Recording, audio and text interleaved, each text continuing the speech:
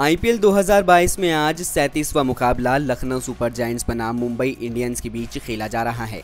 आपको बता दें कि पहले बल्लेबाजी करते हुए इस मैच में लखनऊ सुपर जायंट्स की टीम ने 20 ओवर के बाद 6 विकेट गवाते हुए एक सौ अड़सठ रन बनाए हैं। लखनऊ की टीम ने जहाँ आज इस मुकाबले में कुल एक सौ अड़सठ रन बनाए तो वहीं इसमें कप्तान के राहुल का योगदान 103 रनों का रहा। आपको बता दें कि आज के राहुल ने एक बार फिर से इस सीज़न में शतक लगाते हुए अपनी टीम को बिखरने से बचाया। के राहुल ने इस सीज़न का दूसरा और अपने आईपीएल करियर का चौथा शतक लगा दिया है। आज इसी शतकीय पारी के बदौलत के राहुल ने कई रिकॉर्ड अपने नाम कर लिए हैं। तो चलिए जानते हैं के राहुल के वो रिकॉर्ड जो आज उन्होंने इस मुकाबले में अपने नाम किए हैं।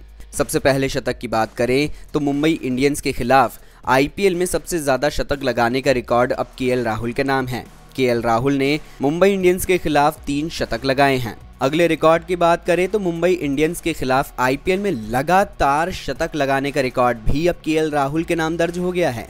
के राहुल ने अपना सौवा मुकाबला खेलते हुए इस सीज़न में मुंबई इंडियंस के खिलाफ 103 रन बनाए थे और आज फिर मुंबई इंडियंस के खिलाफ अगले ही मुकाबले में उन्होंने 103 रन बनाए हैं और ऐसा करने वाले वो आईपीएल इतिहास के पहले बल्लेबाज हैं। आपको बता दें कि आईपीएल में बतौर भारतीय बल्लेबाज सबसे ज़्यादा शतक लगाने के रिकॉर्ड में के राहुल का नाम दूसरे स्थान पर आ गया है। के राहुल ने अपने आईपीएल करियर में चार शतक लगाए हैं और वो विराट कोहली से अब एक शतक पीछे हैं।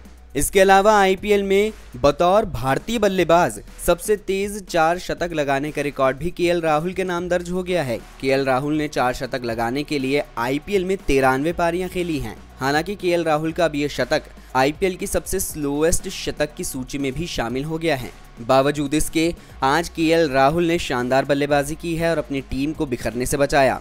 जहाँ उन्होंने बासठ गेंदों का सामना करते हुए 103 रन लगाए, जिसमें उन्होंने 12 चौके और चार छक्के जड़े। बाकी की तमाम खबरों के लिए आप बने रहिए वन इंडिया के साथ।